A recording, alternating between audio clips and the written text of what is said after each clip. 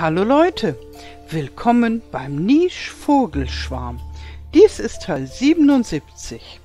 Ja, alle haben fleißig gearbeitet und darum mache ich jetzt mal einen neuen Tag. So, und jetzt gucken wir mal, ob unsere Nischlinge hier bei den Palmenbäumen verschont geblieben sind. Ja, Du kannst also das hier einsammeln und dann schnell davon fliegen. Und du kannst das nicht einsammeln, aber auch schnell davon fliegen. Wo habe ich jetzt ein Schmatzgeräusch gehört? Muss ich doch mal gucken. Das klang wie so ein Egel. Roku. Taban. Duk Kroru hat einen Egel gekriegt. Na, da müssen wir gleich was gegen tun. Zack, weg ist er. Und immerhin bedeutet das ein Futter. Das ist doch gar nicht schlecht. Ihr könnt vielleicht einfach mal die nächste Bucht in Angriff nehmen. So. Arbeitet ihr euch mal so Schritt für Schritt dahin vor. So. Da sind Fische. Hurra, endlich wieder Fische. Naja, die hauen jetzt natürlich ab. Logisch. Kommst du daran? Nee. Na, so ein Pech. Aber vielleicht erwischen wir sie beim nächsten Mal. So.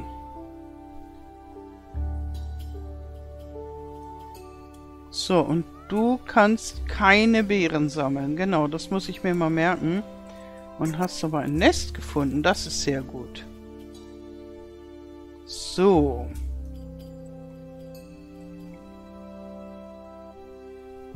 Ja, jetzt gucken. Oh, oh, oh. Hier, unsere Kleine ist groß geworden. Die kleine Rela. Super gut. Da haben wir, glaube ich, schon alle Wünsche verbraucht. Und wahrscheinlich können wir uns auch gar, noch gar nicht dieses Schnurrgesicht wünschen. Und wahrscheinlich wird bei den beiden auch kein Schnurrgesicht rauskommen, weil bestimmt die Knackerschnauze dominant ist. Aber wir können ja da schon mal einen Anfang machen. Gut, hüpf du jetzt mal in das Nest. Und vielleicht kriegen deine Enkelkinder dann auch Schnurrköpfe. So, hier, Papa ist schon ganz erschöpft. Ja, ist auch anstrengend, dein erstes Kind zu zeugen, nachdem du so lange gewartet hast. So. Was können wir denn hier Vernünftiges machen? Er kann schon Beeren sammeln, wenn es denn Beeren gäbe. Geh mal hier hin und sammel ein bisschen Gras. So. Ja. Und hier unser fliegender Wicht. kann zwar tauchen, aber nicht angeln. Das ist natürlich schon traurig, nicht wahr? Aber ich würde sagen, du kannst dich hier mal langsam auf den Weg machen gen Wasser. Und du kannst auch tauchen und auch nicht angeln und nicht mal fliegen. Aber ihr geht zusammen in Richtung Wasser. Das ist eure Bestimmung als Tauchfähige. So. Na, was hat da gequietscht? Wer kann hier fliegen in der Umgebung? Ah, hier so viele Kaninchen. Alle warten. Ah. Du. Aber du musst das hier erstmal einsammeln. Okay, und dann kannst du dieses hier erwischen und auch einsammeln. Gut, das hat sich doch gelohnt. So. Und ihr macht jetzt die normalen Dinge, die Nischlinge halt so machen, wenn der Tag lang ist. So. Hüpf einfach mal hier hin. Ja, und du hüpfst mal hier hin und machst Gras weg.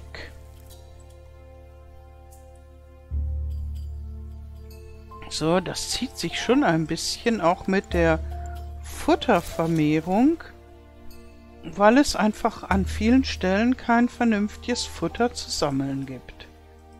So. Da müssen wir mal gucken, wo es die nächsten Würmer gibt. Hier gibt es Würmer. Na immerhin, das war doch schon mal was. Gibt es da auch Würmer? Nein, da gibt es nur einen potenziellen Partner. Gucken wir doch mal. So, I und K.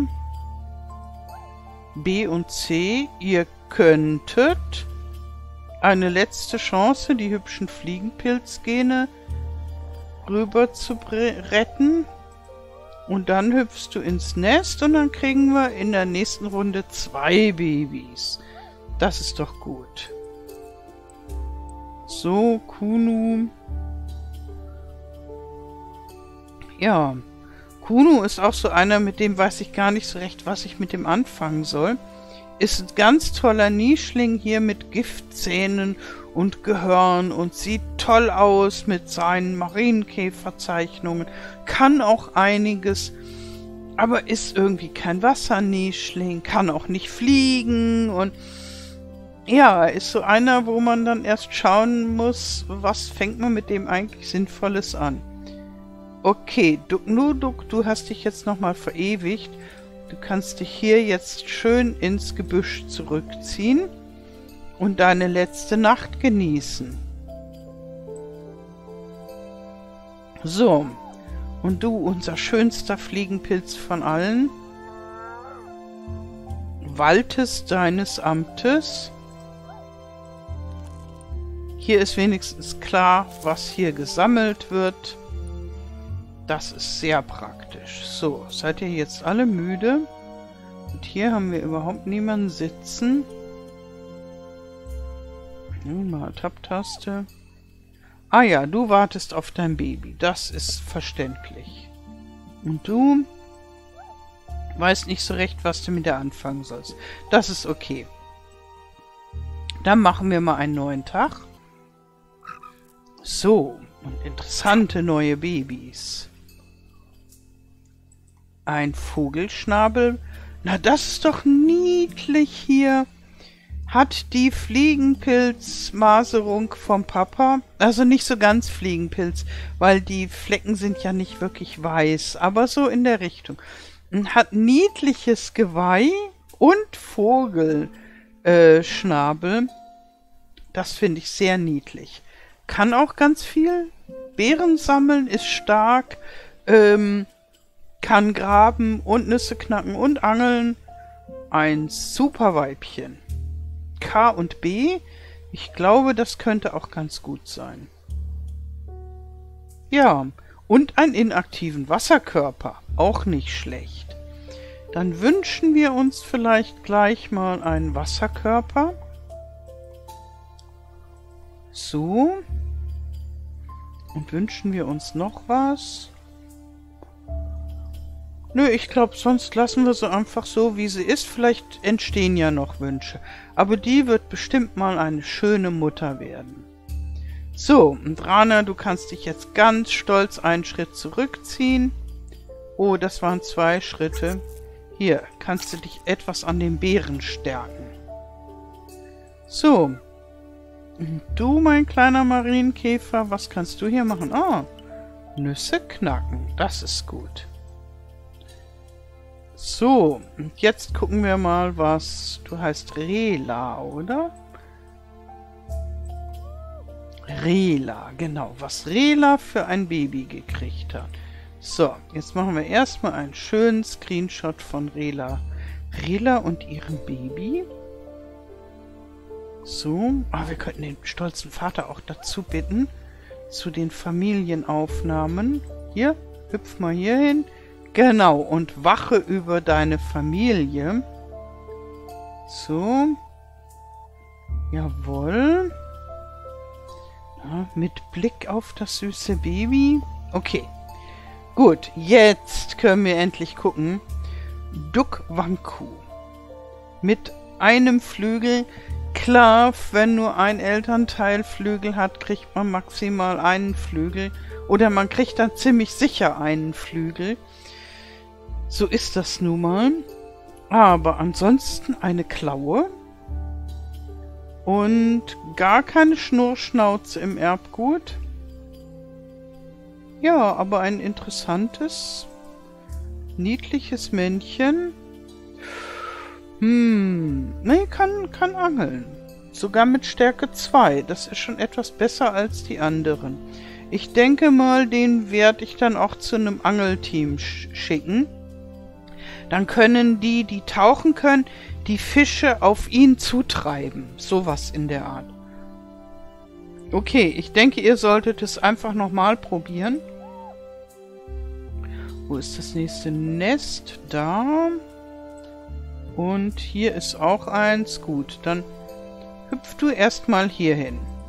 Und der Papa probiert es mit der Befruchtung. Jawohl. Und du hüpfst gleich ins Nest. Jawohl. Und du bleibst bei deinem Baby, würde ich sagen. Einer muss ja aufpassen. Vielleicht nicht unbedingt bei diesem Stamm, aber besser ist es. Ähm, Nix zum Sammeln. Musst du ohne Essen schwanger sein. So, Wanro. Irgendwie hatten wir für dich auch mal eine Partnerin vorgesehen. Die Frage ist nur, wo ist sie denn? E und H.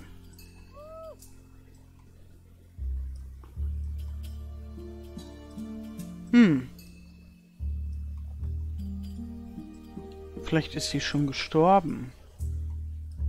Wahrscheinlich, denn hier habe ich niemanden mit einem mittleren orangenen Symbol.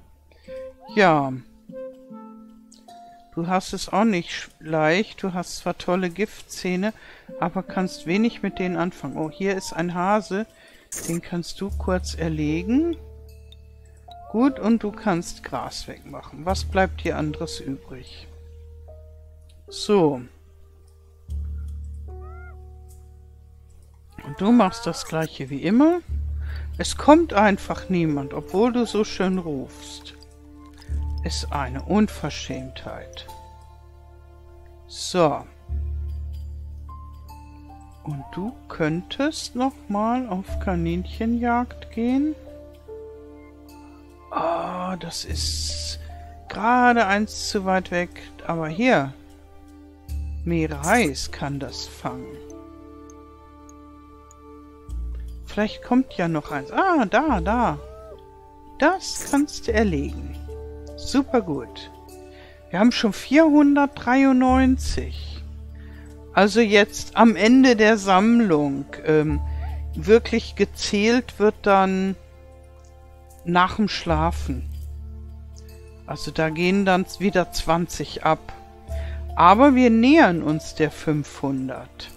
Und ich würde sagen, wenn wir 500 haben, dann fange ich an zu gucken, wen haben wir, wen schicken wir auf die Reise und so weiter und so fort. Das wird sich dann noch hinziehen. Bis die dann mal unterwegs sind, haben wir dann vielleicht sogar schon 600. Aber häufig kommt da gar nicht mehr so viel zusammen, wenn die erstmal unterwegs sind. Ach, jetzt habe ich gedacht, oh, ich habe ihn zu tief geschickt. Kein Problem. Der hat ja Kiemen. Das ist ja der Witz davon. Das ist das Besondere. So, und du hättest eigentlich auch Kiemen, brauchst die aber gerade nicht. Warum ist denn dein Bruder unter Wasser? Vielleicht, weil du noch nicht schläfst. Ja, du könntest eigentlich einen Schritt weiter gehen. Gut, dann ist er auch unter Wasser. Jetzt können sie erstmals ihre Wasserfähigkeit unter Beweis stellen. Aber ich werde die natürlich hier, hierhin so schicken. Okay. Also, weiter geht's. Du sammelst Beeren, jawohl. Und du sammelst Nüsse. Gut, du wartest auf dein nächstes Baby, alles klar. Und Ihr versucht die Fische zu fangen, die inzwischen vor euch abgehauen sind. Da, Fische, Fische. Hurra, hurra. Hier, da. So, du kannst mal hier hinspringen. Super gut. Endlich, oh, das war jetzt äh, irgendwie ein Sprung zu viel, aber endlich mal wieder Beute. Super gut.